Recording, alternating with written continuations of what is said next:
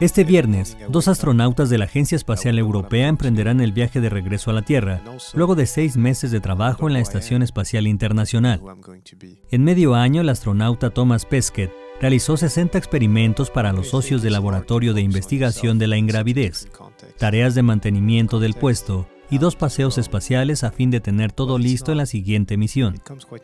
El módulo de descenso, a bordo del cual irán Tomás y Oleg, se enfrentará a temperaturas de hasta 1600 grados Celsius cuando la fricción de la atmósfera caliente el escudo protector. La agencia estadounidense resaltó que el cohete se dividirá en tres partes y dejará que los módulos orbital y de propulsión se desintegren al caer hacia la Tierra. A su llegada, Thomas Pesquet volará hasta el Centro de Astronautas de ESA en Colonia, donde se llevarán a cabo pruebas para comprobar el estado de salud del astronauta.